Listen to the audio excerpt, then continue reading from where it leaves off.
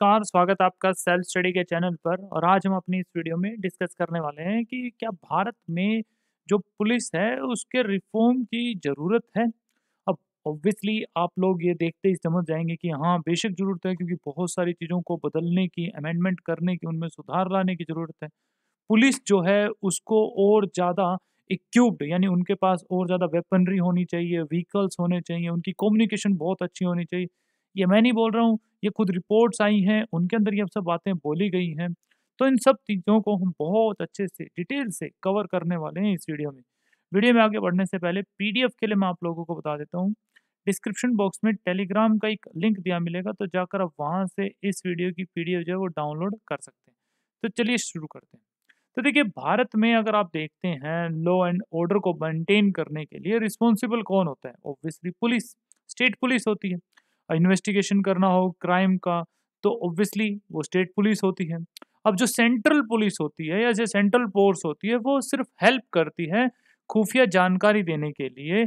Internal security challenges आ गए जैसे कि हमारे देश के अंदर घुसपैठ हो गई तो उस चीज़ से रिलेटेड जो हो गए इंसर्जेंसीज हो गई तो वहाँ पर जो है, उन सब चीज़ को निपटने के लिए पुलिस आती है, वो भी स्टेट पुलिस आती है। अब इतना कुछ काम होता है पुलिस के पास तो इनके ऊपर खर्चा कितना किया जाता है? केंद्र के द्वारा या राज्य सरकार के द्वारा? तो यहाँ पर केंद्र और राज्य सरकार के बजट का लगभग तीन प्रतिशत पुलिस व्यवस्था पर खर्च किया जाता है। अभी आप देखेंगे कि भारत में पुलिस की कितनी ज़्यादा कमी है। भाई, एक लाख लोगों पर, एक लाख लोगों पर कितने पुलिस अधिक, पुलिस जो है वो होनी चाहिए थी। यूएन की रिपोर्ट माने तो 222 जो है वो पुलिसकर्मी होने चाहिए एक लाख लोगों पर। भारत में कितने हैं? अभी रुकिए, अभी आप लोगों को बताएँगे। अब यहाँ पर आप देखते हैं कि भारत में जो फ्रेमवर्क है, जो पुलिस का, वो किससे बना है? कंप्राइजिंग द पुलिस एक्ट 1861 1861 का। भाई, ब्रिटिश ही तो लेकर आए थे। अब ब्रिटिश जो है, वो किस मंशा से लेकर आए थे भारत के अंदर पुलिस? इसलिए तो नहीं लेकर आए थे कि भैया यहाँ पर लॉ एंड ऑर्डर को सही रखना उनका मेन मकसद तो यही था कि भारत के जो लोग हैं, उनको दबाना है, उनकी आवाज़ ऊपर नहीं उठने देना है और पुलिस का जितना हो सके उतना यूज़ करते हुए उनको पीछे हटाना है। भाई, यही तो चीज़ थी। और आज भी उन लॉज देखिए, आप देखिए 1861 के जो लॉ हैं अदर स्टेट स्पेसिफिक लॉ वो आज भी लागू हैं। जिससे क्या, आप देखते हैं कि वो अकाउंटेबल पुलिस फोर्स बन पाती है? ऑब्वियसली नहीं। वाइल मल्टीपल रिफॉर्म जो है वो प्रपोजल किए गए थे गवर्नमेंट ऑफ़ इंडिया को सुप्रीम कोर्ट को, लेकिन वो सही ढंग से अचीव या इम्प्लीमेंट नहीं हो पाए, जितनी उनकी डिज़ायर थी भैया, इनसे बहुत ज़्यादा उम्मीदें थी, लेकिन वो उतने सही ढंग से लागू नहीं हो पाए। तो आज की डेट को हम देखते हुए इंडिया को बहुत ज़्यादा ज़रूरत है एक लीगल एंड इंस्टीट्यूशनल फ्रेमवर्क जहाँ पर हमारी पुलिस की, यानी देश की पुलिस को स्मार्ट पुलिसिंग बनाए। अब फ़र्स्ट ऑफ़ ऑल हम देख लेते हैं कि भारत में जो लोकतंत्र है, यानी जो इंडियन डेमोक्रेसी है, उसमें पुलिस का एक आइडल रोल क्या होना चाहिए? देखिए, जो प्राइमरी रोल होता है ना पुलिस का ऑब्वियसली भाई इन्फोर्स लो यानी कि लो को लागू करना इन्वेस्टिगेट करना क्राइम को, साथ ही साथ सिक्योरिटी सही करना इंश्योर करना जो लोग हैं देश के अंदर उनकी सिक्योरिटी को।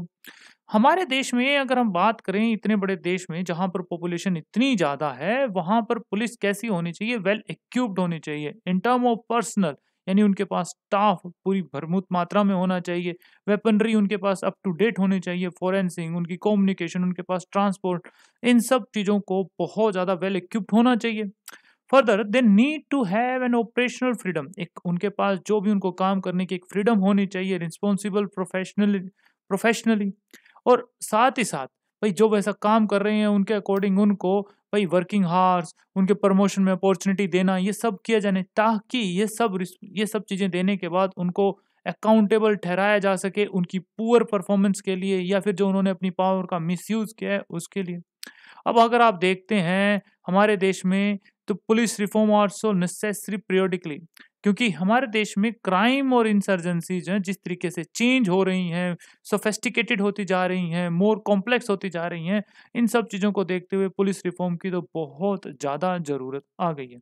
तो क्या आज तक कोई कमेटी नहीं बनी क्या भारत में? बेशक बनी। नेशनल पुलिस कमीशन 1977 81 में बन के आई 1998 में 2000 में 2002 2003 के अंदर 2005 के अंदर आप देखते हैं पुलिस एक्ट ड्राफ्टिंग कमेटी 2005 में बन के आई। यहाँ पर आप देखेंगे, सेकंड एडमिनिस्ट्रेटिव रिफॉर्म कमीशन 2007 में, फिर police act drafting committee second हमारे सामने बन कर आई। इतनी सारी कमिटीज बन के आई। इन्होंने ऑब्वियसली पुलिस सुधार में रोल प्ले किया है, लेकिन जितनी उम्मीदें इनसे थी, उतनी उम्मीदों पे खरी नहीं उतर पाई हैं या फिर कहीं उतनी इम्प्लीमेंट नहीं हो पाए हैं। अब क्या क्या कमियाँ हैं क्या क्या चुनौतियाँ आती हैं, भारत में जो पुलिस है, उसको एक बार हम ध्यान लेते हैं। देखते हैं लो पुलिस पॉपुलेशन रेशो यानी कि एक लाख लोगों पर भारत में कितनी पुलिस कर्मी है उसको देखते हैं। फ़र्स्ट ऑफ़ ऑल जाने, जनवरी 2016 में राज्य पुलिस बलों में, यानी जो स्टेट पुलिस फोर्स है, उनके अंदर 24 वैकेंसीज हैं, यानी कि साढ़े पाँच लाख रिक्तियाँ।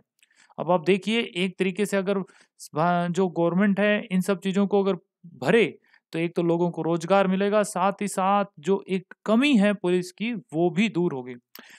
इस प्रकार 2016 में एक अनुमानित जो पुलिस क्षमता है, प्रति लाख व्यक्ति पर एक सौ इक्यासी होनी चाहिए थी 2016 में। कितनी थी?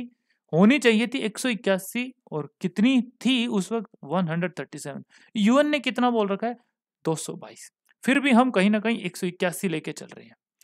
अब कर्मियों की ऑब्वियसली कमी होने के कारण क्या क्या होगा? ये तो समझ रहे समझ सकते हो कि काम का बोझ उनके ऊपर बढ़ेगा काम का बोझ बढ़ेगा तो उनकी जो एफिशिएंसी है, उनके ऊपर प्रभाव पड़ेगा। प्रभाव इतना पड़ेगा, परिणाम स्वरूप वो जाँच जो है, वो सही ढंग से नहीं कर पाएँगे। उनके ऊपर साइकोलॉजिकल डिस्ट्रेस हो जाएगा, वो स्ट्रेस के अंदर रहने लग जाएँगे। जिससे जो है, वो मामले पेंडिंग की जो मामलों की जो संख्या है पेंडिंग मामलों की जो संख्या है, वो बढ़ती जाएगी। ये तो एक, आप देखेंगे एक साइकिल बन जाएगी। अगर यहाँ पर पुलिस कर्मियों की संख्या बराबर कर दी जाए तो कहीं ना कहीं ये सब चीज़ें जो है होने से बच जाएँगी। सबसे बड़ा अब देखते हैं राजनीतिक दबाव, जो बहुत ज़्यादा प्रभाव डालता है पुलिस पर। अकॉर्डिंग टू पुलिस लॉ ये मैं नहीं बोल रहा हूँ खुद अकॉर्डिंग टू पुलिस लॉ या फिर हम बात करें सेकंड एडमिनिस्ट्रेटिव रिफॉर्म कमीशन उन्होंने खुद बात बोली है कि जो सेंटर स्टेट पुलिस फोर्स हैं वो पॉलिटिशियन एग्जीक्यूटिव होते हैं या पॉलिटिकल जो पॉलिटिकल एग्जीक्यूटिव्स होते हैं, उनके अंडर काम करते हैं तो वो जैसे ही किसी राज्य के अंदर सरकार चेंज होती है तो पुलिस की जो प्रायोरिटीज हैं वो चेंज कर दी जाती हैं। ये खुद सेकंड एडमिनिस्ट्रेटिव रिफॉर्म कमीशन में ये बात नोट की गई थी 2007 में कि पॉलिटिशियन जो हैं वो गलत प्रभाव डालती हैं पुलिस कर्मियों के ऊपर। तो ये एक इंपॉर्टेंट चीज़ हमारे सामने आती है। ऑब्वियसली अब इन सब चीज़ों को दूर कैसे किया जाए? दूर करने के बहुत सारे उपाय अभी हम उस चीज़ को भी देखेंगे। फ़र्स्ट ऑफ़ ऑल जो चुनौतियाँ आ रही हैं, हम उनको देख लेते हैं। एक आता है हमारे सामने जो मैंने आप लोगों से स्टार्टिंग में ही डिस्कस किया था कॉलोनियल लेगेसी यानी कि औपनिवेशिक विरासत। अरे, अठारह सौ सत्तावन में आपने विद्रोह देखा था भारत के अंदर। अब उस वक्त पुलिस प्रशासन को सुव्यवस्थित करने के लिए अंग्रेज़ सरकारों, अंग्रेज़ सरकार या अंग्रेज़ों के द्वारा अठारह में एक एक्ट लाया गया, पुलिस एक्ट। उससे हमारे देश में पुलिस का निर्माण होता है। अब बात करिए अठारह का। पिछहत्तर साल हो गए हमें आज़ादी को। आज तक वो सब चीज़ें चल रही हैं। क्या वो आज की सॉरी, आज में जो हमारे देश का जो एक स्वतंत्र भारत है, उन जो आकांक्षाएँ हैं, उनके अनुरूप है क्या वो? बिल्कुल भी नहीं। जनता की धारणा, देखिए, आज हम देखते हैं पब्लिक परसिप्शन। बहुत अच्छा काम कर भी रही है पुलिस, लेकिन खुद, सेकंड एआरसी रिपोर्ट खुद ये बात बोलती है कि भारत में जो पुलिस, पब्लिक संबंध हैं, जो रिलेशन हैं, वो अनसेटिस्फैक्ट्री हैं, असंतोषजनक है, क्योंकि आम लोग पुलिस को एक भ्रष्ट मानते हैं। एक्शम यानी कि इन एफिशिएंट अनरिस्पॉन्सिव मानते हैं। उनसे वो बात करने में हेजिटेट करते हैं। कई लोग डरते हैं, आप खुद देखा होगा या फिर आपने खुद महसूस भी कभी किया होगा, आपके सामने पुलिसकर्मी है तो आप उससे बात करने से डर रहे हैं, कहीं ये मुझे ही नाम कुछ दोषी ठहरा दे। तो ये एक चीज़ जो आती है हमारे सामने। एक हमारे देश में इंफ्रास्ट्रक्चर की बहुत कमी है पुलिस के लिए। वर्तमान पुलिस बलों के लिए एक सुदृढ़ संचार सहायता, आधुनिक हथियार, उच्च गतिशीलता की आवश्यकता है। 2015-16 की खुद कैग रिपोर्ट में ये पाया गया कि जो राज्य पुलिसों के पास जो हथियार है, उनमें कमी है। और इसके अलावा पुलिस अनुसंधान और विकास ब्यूरो ने यह पाया कि राज्य बलों के पास आवश्यक वाहनों के जो स्टॉक है, उसमें 30.5 परसेंट की कमी है। तो इन सब कमियों को देखते हुए जिससे पता चलता है कि पुलिस अपना काम सही ढंग से कैसे कर पाएगी। इसके अलावा हमारे सामने आता है, चेंजिंग टेक्नोलॉजी चैलेंजिंग पुलिसिंग जिस तरीके से टेक्नोलॉजी चेंज हो रही है तो चुनौती भाई भैया बढ़ती जा रही है पुलिस के लिए। डिजिटलाइजेशन जैसे हो रहा है हाइपर कनेक्टिविटी जैसे बढ़ती जा रही है, जैसे डेटा का ग्रोथ बढ़ता जा रहा है, उस ग्रोथ को देखते हुए क्या पुलिस भी उतनी ही वेपन या उतनी ही स्मार्ट होती जा रही है? इन सब चीज़ों को हमें देखने की बहुत ज़्यादा ज़रूरत है। आगे की राह क्या हो सकती है? तो देखिए, आगे की राह तो यही हो सकती है कि पुलिस को स्मार्ट फोर्स बनाया जाए। भारतीय पुलिस को strict and sensitive modern and mobile alert and accountable reliable and responsive और हमारे देश में ये तकनीकी, कुशल और प्रशिक्षित बनाने की बहुत ज़्यादा ज़रूरत है। बहुत सारे स्टडीज़ में ये पाया गया, पुलिस ऑफिसर अगर सिटीजन को विद डिग्निटी अगर ट्रीट करते हैं, उन्हें इक्वल वॉइस ऑफ़ इंट्रैक्शन यानी उनको बोलने का एक समान मतलब ऐसा नहीं है कि कई पुलिस पुलिस अधिकारी ऐसा माने कि मैं इनसे बड़ा हूँ, जो एक आम सिटीजन है, वो हमसे छोटा है, मैं उसे वैसे ट्रीट करूँगा। तो वो सब चीज़ें होंगी तो कभी भी कम्युनिकेशन गैप दूर नहीं हो पाएगा। तो अगर उनको बोलने का अधिकार सही है, उनको एक बार बराबर समझा जाएगा तो कहीं ना कहीं जो एक जनता है, उनसे, उनका अंदर विश्वास बढ़ेगा। खुद बहुत सारी स्टडीज़ हैं, उनके अंदर ये पाया गया है। कि मैं अपनी तरफ़ से ऐसा कुछ नहीं बोल रहा हूँ, ये स्टडीज़ हैं जो ये बताती हैं। तो ये लोगों द्वारा कानून के अनुपालन को सुदृढ़ करता है और अपराध को प्रेरित करने वाले जो परिदृश्यों हैं, उनमें सुधार लाता है अगर ये सब चीज़ें की जाती हैं। साथ ही साथ कम्युनिटिंग कम्युनिटी पुलिसिंग को बढ़ावा देना। जो समुदाय है, जो कम्युनिटी पुलिसिंग जो है, एक तरीके से बात करें, विधि व्यवस्था, कार्य और कम्युनिटी पुलिसिंग को बढ़ावा देना विवेकपूर्ण होगा। क्योंकि इसमें अपराध और अपराध से संबंधित मुद्दों को हल करने के लिए पुलिस और जो कम्युनिटी के जो सदस्य हैं वो मिलकर काम करते हैं और यह जनता और पुलिस के संबंधों में सुधार लाता है। पुलिस शिकायत प्राधिकरण की स्थापना, यानी कि एक कंप्लेंट अथॉरिटी भी लेके आई जाए सुप्रीम कोर्ट ने माने तो पुलिस जो एक मिसयूज या मिसकंडक्ट करते हैं अपनी जाँच में तो एक स्वतंत्र, एक एक इंडिपेंडेंट अथॉरिटी का निर्माण किया जाए। एक according to model police act 2006 के अकॉर्डिंग माने तो एक ऐसी अथॉरिटी बनाने में जो हाई कोर्ट है रिटायर्ड जज हो सकते हैं उसमें। साथ ही साथ जो रिटायर्ड पुलिस अधिकारी हैं, वो भी उसके अंदर हो सकते हैं, नागरिक समाज के सदस्य हो सकते हैं, या फिर दूसरे राज्य के लोक प्रशासक, यानी कि एडमिनिस्ट्रेटर्स इसके अंदर शामिल हो सकते हैं।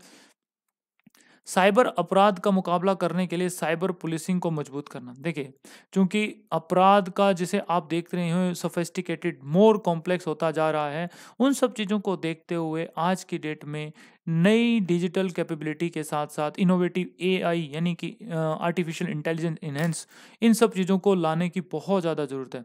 उदाहरण के लिए आप देखते हैं कि भारत में आप क्राइम देखिए साइबर क्राइम कि लोगों के अकाउंट में से पैसे उठ जा रहे हैं या फिर कहीं ना कहीं कैसे लोगों की जो एक प्राइवेसी है उसका उल्लंघन किया जा रहा है, किसी की फ़ोन को हैक करके या मोबाइल उसको कंप्यूटर को हैक करके उनकी पर्सनल इन्फॉर्मेशन चुराई जा रही हैं या फिर कितने सारे क्राइम जो हैं वो कर रहे हैं तो इन सब चीज़ों के स्टैटिक्स या क्रिमिनल स्टैटिक्स को जांचने या उनको अपडेट करने की बहुत ज़्यादा ज़रूरत है।